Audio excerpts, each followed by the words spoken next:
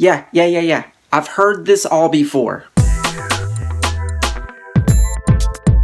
Stop talking and get moving. Too many people sit and flap their gums about some stuff. This is kind of like analysis paralysis, but it's literally just on the surface of people just talking about doing something instead of actually doing it. I've been a victim of this too. My thing is saying try. I'm constantly catching myself saying, oh, I'm gonna try and do this, I'm gonna try and do that.